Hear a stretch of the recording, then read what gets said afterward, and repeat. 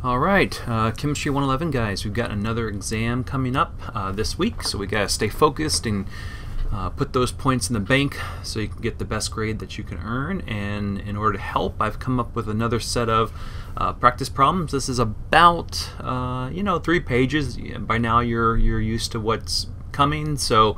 Um, you know, we got to be able to do these problems, but not only do you have to be able to do them, you've got to be able to do them in a, in a pretty time effective manner. And so uh, I'm going to work through these. Hopefully it'll help you out. Maybe um, you know give you a few pointers. I'll try to comment on maybe some things that can help save time on the exam and just things that I've noticed that people are doing uh, wrong or might uh, cause you to lose some points on the exam. So let's go ahead and dive right in. Uh, this first question says, okay, we need to complete the following reactions. And here we say, okay, well, we've got this first reaction, and it's HCl. And uh, HCl is going to react with this calcium carbonate.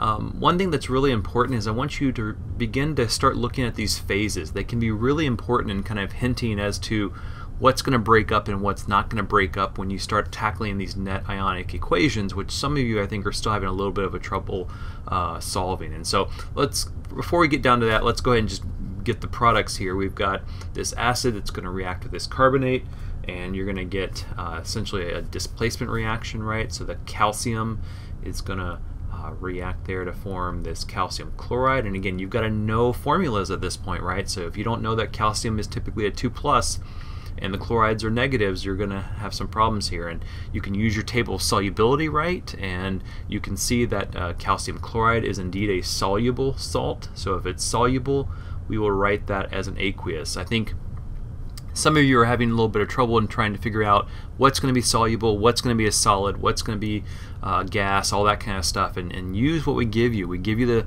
table solubilities on the periodic table as a, a, nice little data cheat sheet, so make sure you're able to use that. The same one that we talked about in class. If we look at this then, we say, okay, well, what's left over? Um, well, we're probably going to form uh, some kind of uh, carbonic acid, right? When you might be tempted to write this guy here, which is um, this aqueous. Again, it's an acid with carbonate, um, but unfortunately, and this was in your reading, uh, this this acid is not very stable. Uh, you know, if you've had a, a Sprite or a, a, lemon lime soda, you know very quickly that you get those bubbles, and so this will actually decompose. And instead of writing this carbonic acid, we probably more accurately would like to write that this is going to be water, which in this case is a pure liquid plus those little bubbles, which will be bubbles of carbon dioxide, which is indeed a gas. So if you didn't see that, it's okay. You're not going to lose a ton of points, but you should remember that this is effectively a gas formation reaction, and it's very useful to, to recall that. Um, now we need to balance it, right? We've got two chlorides here, so we're definitely going to need two of those HCl's, and we've got one calcium, one carbonate that got broken up, so we can stay with the one there. Very, very easy there. That's, that's, that's pretty straightforward. Now, how do we know when to break things up? Well, what I do is I say, okay, look at this. This is a acid, right? You have an H in front of something there. That's hydrochloric acid. You look on your cheat sheet on the periodic table I gave you, and you'll see that HCl is one of the strong acids. You've got to remember the definition of a strong acid. That means it completely dissociates. So that means when this hits water, boom, it's going to break up and you'll have no HCl left over. So we break that up to give you two um, H plus, and that's going to be aqueous plus, don't forget there are two of those uh, chlorides, right? So negative, and that's going to be aqueous. Now the calcium chloride, you might be tempted to break that up, but whoa, be careful, you've got a solid. Solids do not break up, right? I've told you that's a solid. It's not going to dissociate. So we just carry that down. You got your calcium carbonate, solid, and that's all we have in terms of our complete molecular on the reactant side. If you go over here, you see calcium chloride. There's an aqueous here, and the aqueous signifies that this is a soluble salt. And so in that case, it will dissociate, and you're going to get a calcium 2 plus, right? And that's aqueous. And then you're going to have two of those chlorides that break up from that material there. Now the next thing you have is water, right? And water is a pure molecular liquid molecular liquids don't break up. So we're just going to write that unaffected as the liquid. And then finally, you've got the carbon dioxide gas, which is going to bubble away, and that's a molecular species as well. So we're just going to write that as carbon dioxide, the gas. Now this is what we call the complete uh, ionic equation. We've got all the ions written, written out. And what we're going to do now is cancel the things, and this is really important. You only cancel what is exactly the same on both sides. And so I see H plus over here, that's not the same as water, so it can't be deleted. Uh, oh, we got two chlorides and two chlorides, so we can get rid of that. The two chlorides go away. Carb calcium carbonate, nope, that can't go away, so you're left over uh, with these guys here. And so what's left over is indeed your net ionic equation. We removed the spectators, right? The calcium, uh, I'm sorry, the chloride rather did not do anything here. It just was a spectator ion, and so we get rid of that. Really, really good example there of a lot of good chemistry and a lot of good uh, equation writing. Now this next one we've got uh, sodium hydroxide with this uh, lead nitrate, and so it looks like we're going to have another uh, displacement reaction. In this case, probably what a double displacement reaction. And so you're you're going to swap partners here, and you're going to get. Um, in this case, it looks like you're going to get sodium uh, nitrate. And in this case, right, um, you can begin to kind of uh, look at the formulas here, and you know that all nitrates, right, and all sodium compounds are soluble. So here you're going to say, I know that's aqueous based on my solubility rules. If you forget the rules, you've got the table. Just look it up. And then finally, what's left? Well, you swap the uh, lead for the sodium, so now you're going to get the uh, lead for the sodium the other way, and you're going to get hydroxide and lead, so that gives you Pb. And in this case, it was lead 2, because you have two nitrates, right? And then that's going to give you OH2, and that, if you look at your solubility ta table, will show you that's a solid. That's going to be your precipitate, right? So there you go. Let's go ahead and balance. We got two nitrates on the reactant side. That means we need two nitrates over here. If you have two sodiums over here, you're going to need two sodiums over there, two hydroxides, two hydroxides, one lead, one lead. We're balanced. That's good. So I'll go ahead and just put a little one there, even though it's not so important. All right, uh, now do we break things up? Well, sodium hydroxide, strong base. Strong bases, just like strong acids, completely dissociate.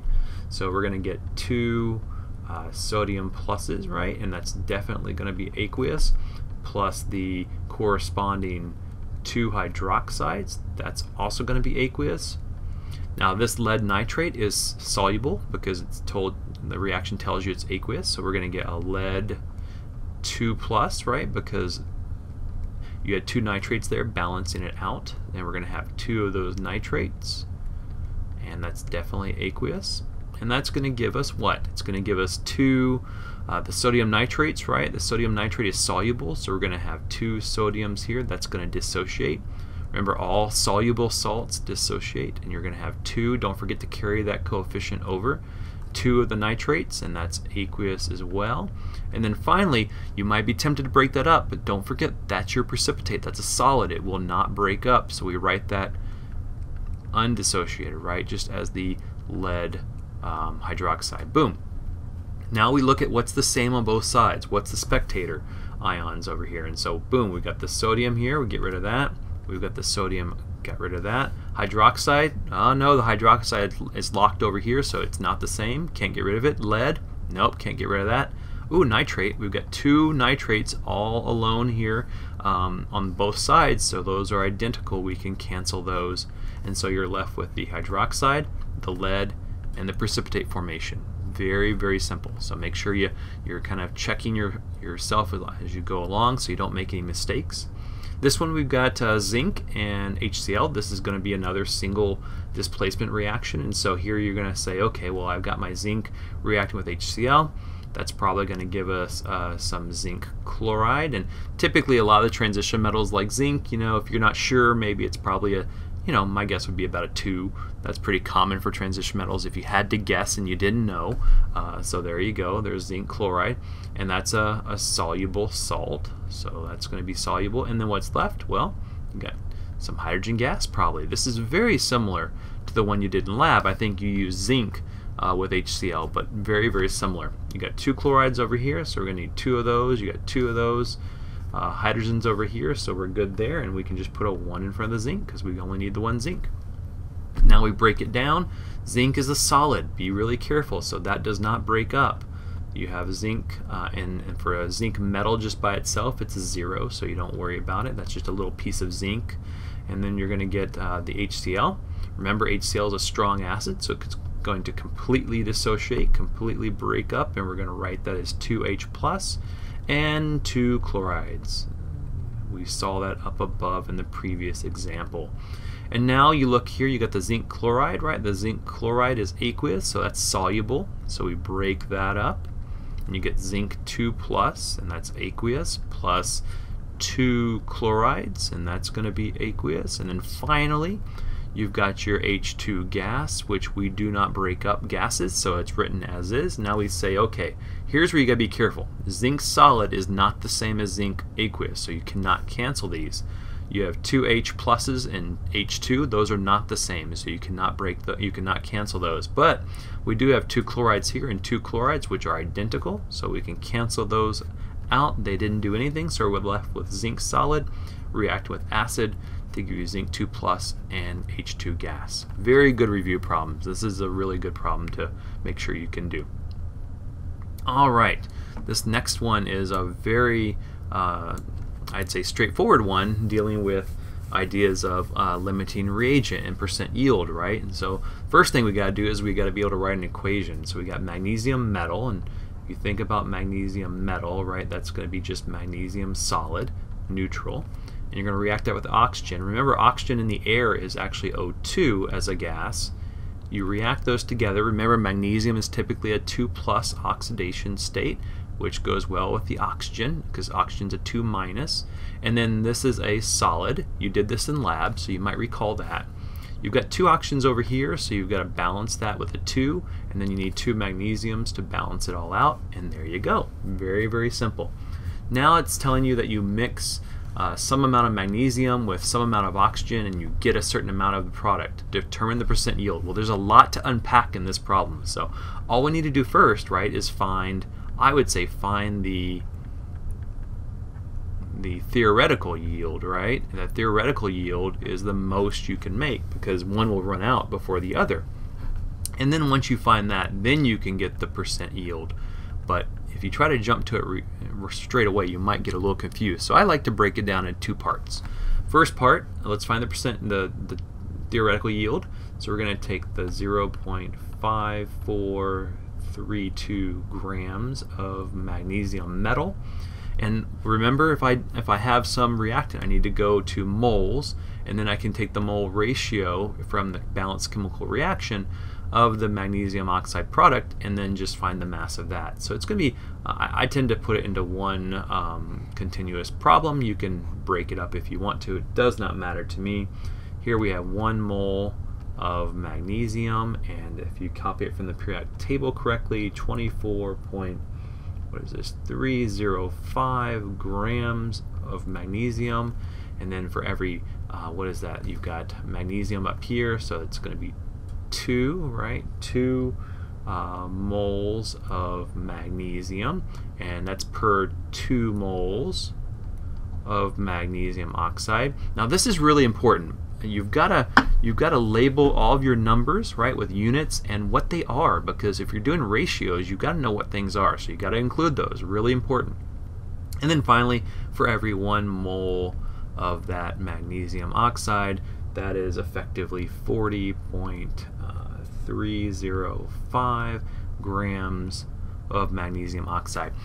And so on this one, you know, I, probably included one more sig fig than I needed, and you can save time by not writing so many. If you notice here, you've got four sig figs, four sig figs, and so you don't need more than four. So I could have probably gotten away with rounding that, but it's not a big deal. But don't write too many extra sig figs because that can burn time on the exam. If you calculate that, with your calculator, I think I get something like 0.908 grams. And please make sure you tell me uh, grams of what, right? That's the magnesium oxide. Okay, so that's one possible um, theoretical amount that you could get, but we need to figure out what we would get if we react all the oxygen. And so 0.6321 grams of O2. Again, make sure you recall that it's O2. We can go ahead and say, okay, for every one, for, for one mole of O2, uh, you get what 32, right? If I, oh goodness, I'm making a mess over there. Sorry, let me get rid, clear that out a little bit. There we go.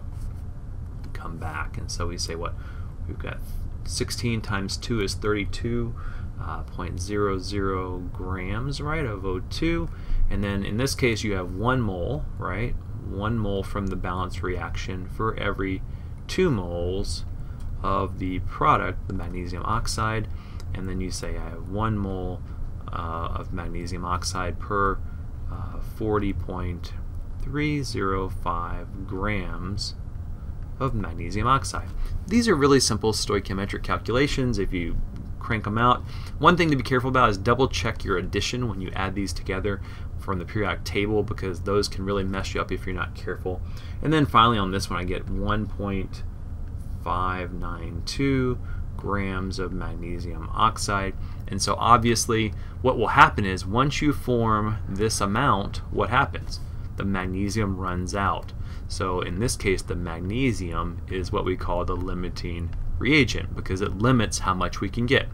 And this number then is also known as our theoretical yield, which is really important. So now we know that percent yield, right, is equal to the actual over the theoretical times 100%. And if you do that, you get from the problem 0.8796 grams of magnesium oxide over the maximum possible, which is 9008 grams times 100%. And if I crank that out on my calculator, I think I get something like 97 point. Let's see, do we still have four sig figs? Yes, we do. And so we'll say 64 point, or sorry, 97.64% yield. That's pretty good.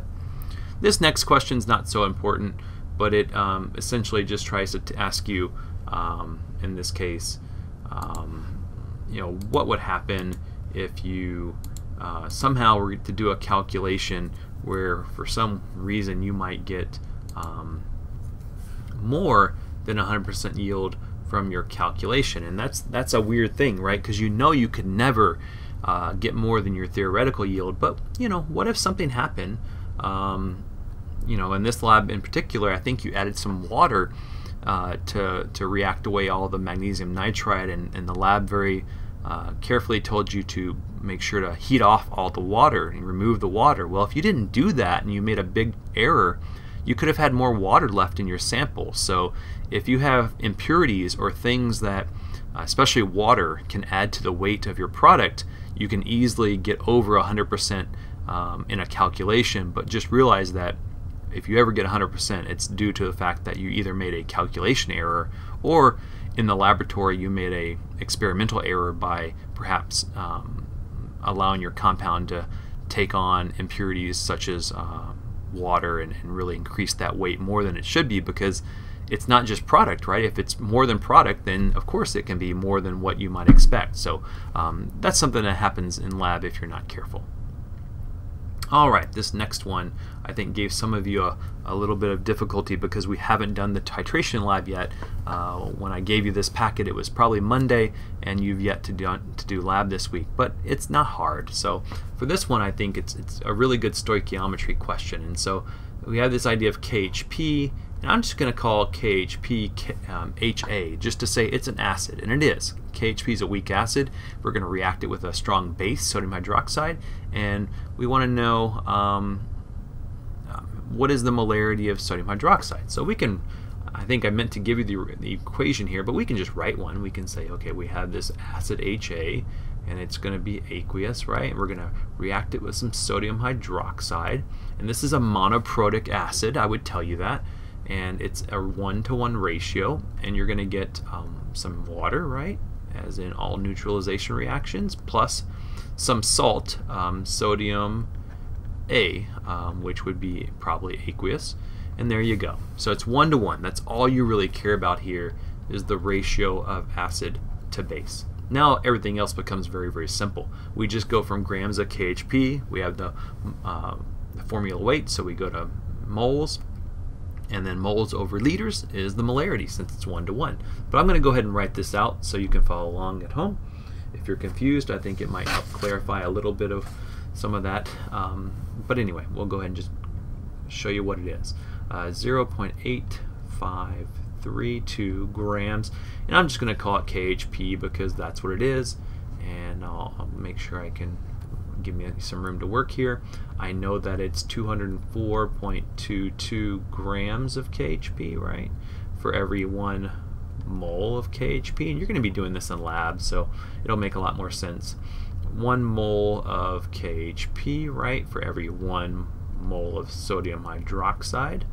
And then finally you say, okay, well, that gets me to what? We canceled out grams of KHP, we cancel out moles of KHP, now we're at moles of sodium hydroxide.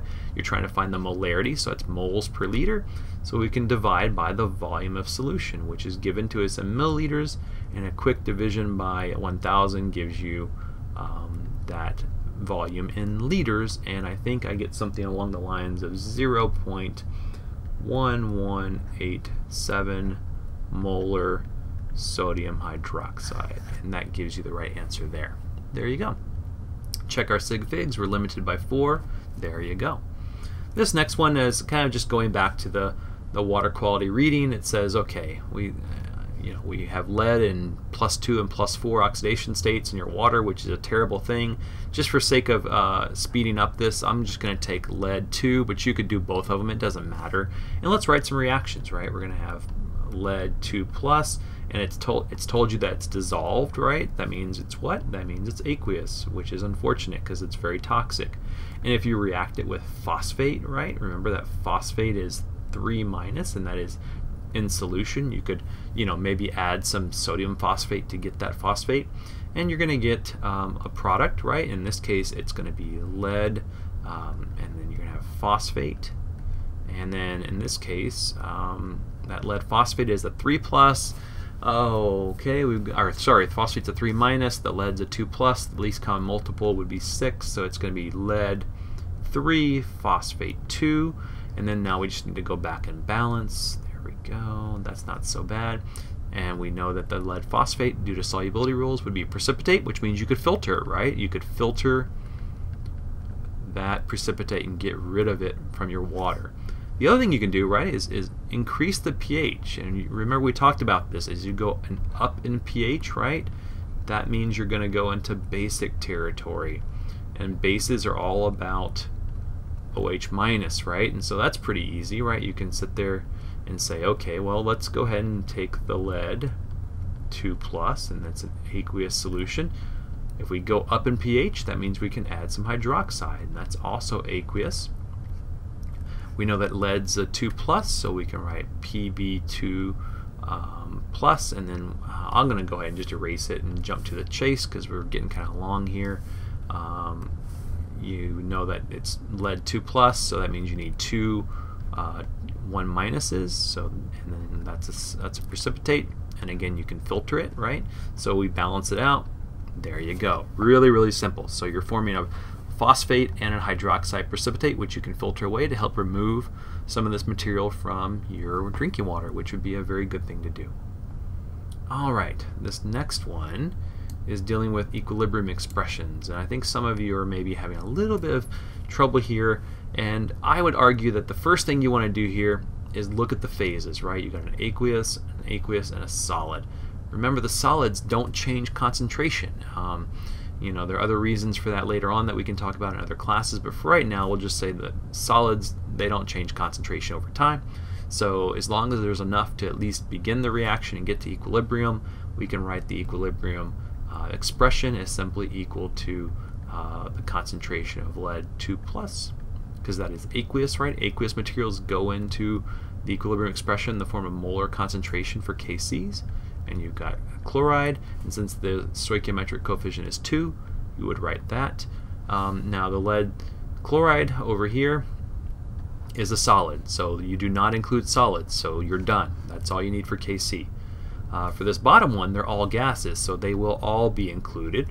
Now, for gases, you might typically call it uh, KP, which is fine. I'm not too worried about that, but we still use the general form of products overreactants, and so there's a 2 there, so don't forget your stoichiometric coefficients, right? Really important.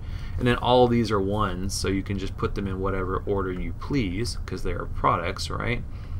Uh, products in terms of multiplication products, excuse me, down here at the bottom in the denominator. And so there you go, you've got products over reactants, right? Um, so there you go, you've got the molar concentration in this case of this guy raised to the second all over the multiplication product of all three of these reactants and, and you're done. Alright, this next one, it says, okay, well, um, I've got some equation here and this, they're all gases so they're all going to be included and there's some K value and this K value is really small so it looks like it's going to probably favor reactants right and it gives you the equilibrium concentrations that's really important um, and so, okay, we can say, let's let's go ahead and just jump right in and, and write an equilibrium concentration expression. Um, and so, sorry, equilibrium constant expression. And I'm going to write my products, right? Um, I'm just going to write, what is it, Sul sulfur dioxide. And I'm going to be more careful than I was up above, and I'm going to say, I'm looking at my equilibrium concentration. That's really important. And there we go and those are both ones so we don't have to worry about um, any stoichiometric coefficients that are different than one. And then finally the re only reactant we have is this one here that's the decomposition um, subject that's decomposing in these two and I want the equilibrium concentration. Well that's easy. I was actually given a number which is really nice in this case right? Uh, 0.078 and if I plug these all in correctly again just double check um, so here we say, okay, I've got the SO2, so I need to plug that in, 0.052, and that's molar. I do not know the chlorine uh, concentration at equilibrium, but I do know the concentration of this guy at the bottom, the reactant, right? And I can go ahead and just write that in, which means that I can set this equal to x, which is going to equal to the concentration of chlorine and I can solve for that just with some simple algebraic manipulation, right? I multiply by this, divide by that, and boom, I solve for x. So in this case, x equals concentration of chlorine, which if my calculator served me well is 0.162 uh, molar uh, Cl2. Not too bad. Okay, on this next one, uh, I don't know why I'm getting so many page break problems here. I apologize. There we go. We move that out of the way. So this one says, okay, number seven says, consider the reaction. You've got this sulfur dioxide reacting with oxygen, and you're getting this sulfur trioxide, which is uh, looks like a component of acid rain or something. And it's oh, this is neat. It's we're also given the fact that um, this reaction has heat, right? Which means it would be actually an exothermic reaction because heat is a product. And now it says, looking at A through F, I do all these things, right? This deals with our friend uh, Le Chatelier, and we're looking at how we can disturb a reaction that's equilibrium by doing something and seeing which way it would shift, if any, to go back to equilibrium. So if we added oxygen, right, oxygen's added, that is a reactant. And um, for this one, I think it's worth noting that we need to be on the lookout. And something I typically do for this is I will go ahead and just write the equilibrium expression. You might say, well, Dr. Porter, why are you wasting time to do that when it's not asking us to calculate anything? Well, the reason I do that is very simple because I am curious about what's going to impact the equilibrium. Typically, only things in the equilibrium expression are going to impact the equilibrium. So if I have things in here that are solids, I don't want to write those, or pure liquids, I don't want to write those. So right off the bat, if I can eliminate those and keep them from confusing me, then I might be in better shape. If you don't want to do that, that's fine. It's totally up to you. But in this case, I'm going to add oxygen. Oxygen is a reactant. So if I add reactant, I'm going to shift it uh, to the products. And in a previous video, I talked all about equilibrium, so go back and look at that if you're confused. Um, here we've got sulfur trioxide. That's a product. If I add more product, I'm going to shift it back to uh, reactants. And, and to be honestly, it's probably to be honest, it's probably more accurate to be more careful and say I'm adding this. So once I disturb the, the equilibrium, it's going to shift back to uh, reactants to re reobtain a, a new equilibrium position. In this case, it's the opposite. I remove this, so that means the reaction is going to shift to, to the products. I increase the pressure by decreasing the volume, right? So if you increase pressure, you're going to go to the side that has the smallest number of moles of gas, which in this case is going to be products. And we can talk about why that is in, in the previous video.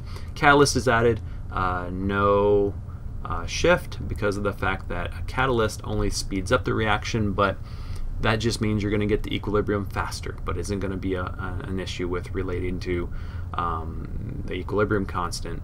And then here you're going to say temperature is decreased. Well, that's kind of the same as saying you're going to remove some of that heat that's a product, which means it will shift to uh, compensate for that stress. Um, so there you go. And, and, you know, there's more to that heat idea, but for right now, this is an okay um, way to think about it until you learn more specifically about heat and temperature changes because temperature actually does change the K value, but we won't talk about that right now.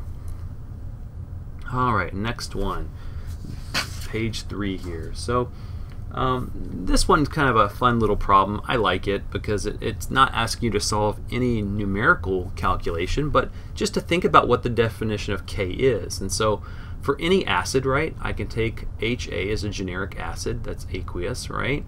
And I'm going to look at this equilibrium of what? Now, one way you could write it would be just to write H plus and A minus, and that might be perfectly fine for right now.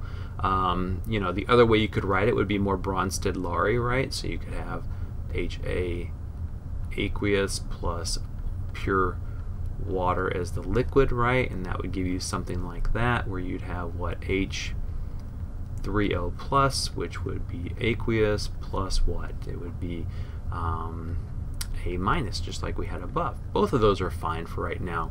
Either way, you know, you can write a K, and a Ka is kind of related to this guy down here. You say, okay, well, I can look at my products, right? These are all one to one, so I can take hydronium, concentration of that. Um, again, these will all be at equilibrium, right? Now, uh, we're going to put the concentration of HA at equilibrium. And remember, water you do not put because it's pure liquid, so don't, don't do that. Now, what is this telling us? Well, if you think about it, hydronium or uh, naked proton, um, H plus is going to be a product, right? So wouldn't it stand to, to to think about this in terms of the Ka. If you have a bigger Ka, right, big Kas tend to favor products at equilibrium, right? Now granted these are all small, but 10 to the negative fifth versus 10 to negative 1, I would say that this Ka for trifluoroacetic is actually bigger, right? So I would say the bigger the bigger K is going to tell you that you're going to favor products, right? And if you favor products at equilibrium, that means it's going to increase the concentration of H+, plus, right? And if that's the case, that's going to be a stronger acid. So in this case, I would say that trifluoroacetic acid has the bigger K, so it's a stronger acid. That's really important. That's all you had to do. Very, very simple. Um, this one down here, um, you know, is, is pretty much just thinking about can you find buttons on your calculator and think about pH and POH. The key thing here is I think you need to really recall the idea that pH plus POH equals 14. So that can make a lot of this really easy. So if you know that this is 4.75, then this has to be 9.25. If you know this one's 11.89, this one has to be 2.11. Those are simple, right? And here you can say on this one, I know how to calculate pH, right? pH is equal to the negative log uh, base 10 of the concentration of hydronium, right? Or H plus if you want to write it that way, it's perfectly fine. And so here you get um, this one I calculate um, and I get something on the order of, let's see, I think I get what 2.19 for this one, which means if they equal 14, that gives me that guy there. Now this one, we don't have the H plus, but we have the OH minus, so P of anything is negative log of that thing, and then you get hydroxide here and you can calculate a POH. And if you do that, I think I get 6.07, which if you subtract that from 14, you get 7.93. So that's a quick, quick little way to knock those out. Now these concentration uh, ones are a little bit tougher, right? Because if you're going to do the opposite, if you want to look at what is the concentration of H plus, right, that's simply equal to the opposite of log base 10, which would be raising something to the power um, of x, right, 10 to the x, right? So in this case, it would be um, 10 to the negative, uh, what is that? In this case, it's going to be, for pH, negative 4.75. And if I crank that out, I think I get something on the order of 1.8 times 10 to the negative 10, right? And then this one would be, if you do the same thing for the POH, you get 5.6 times 10 to the negative 10. Uh, oops, I made a quick translation, uh, transcription error on that. That has to be 10 to the negative 5. There we go. Um, just a little math mistake. So this one will give you this one, and this one will give you this one. And you do the same thing for all these other ones, right? So I think on this one I get 0.0078. Um, and these are all going to be in molarity, so it's important to either put your units in each box or put them at the top of the column. 1.3 times 10 to the negative, um, 12. Um, this one's 1.8 times 10 to the negative 12. And then this one's 1.2 times 10 to the negative 8. This is all just button pushing. It's really, really simple. I'm not going to spend a whole lot of time on it, but um, there are the answers I got. Hopefully yours are similar or I made a mistake, but hopefully I didn't make too, too big of a mistake there. All right, this last one, because we're getting kind of long here, I'm going to go through pretty quickly. You're given a monoprotic acid. Um, this just tells you it's one to one. Um, so here we can write that out, right? HA aqueous plus, what do we got? We got sodium hydroxide here, right? And that's aqueous and that's going to react to form again you know simple neutralization reaction plus um, what do we got? Sodium A which is aqueous right? And we want to know okay the main thing is it's one to one. That's really critical. Now we we want to know what uh, the molar weight is right? So the molar mass and that's always uh, grams per mole. And so we've got the grams of sample which can go into the grams, and we just need to calculate moles. That's really easy because guess what? It's a titration. And at the end point, uh, equivalence point rather, uh, the moles acid equal moles base. So we've got the volume and the concentration, so we can find moles of uh, base, which will allow us to form moles of acid. And I'm going to go ahead and write that out. And we can see here that we've got that's number of moles, uh, and I'm going to go ahead and write moles per liter of base, right? And then we know that we can multiply that by the volume in liters. If we do that, the liters cancel, and we're left with moles of sodium hydroxide. And we can say that one mole of sodium hydroxide per one mole of our acid HA, right? So that gives us something on the order of 0.004094 moles of acid, right? And we can take that and plug it into there. And if we go 0.5000 grams of that acid all over 0.004094 um, moles of acid, that gives us something on the order of 1 point, or sorry, 122.1 grams per mole. There we go. Um, so I know that was a little bit long, but I think you know I worked it out very carefully here as best I could to give you some help. I hope this uh, helps you as you clear up little areas of confusion. We will have some extra uh, review time and, and Q&A and, and, and workshop type opportunities like we always have had for uh, review before we have that exam on Friday.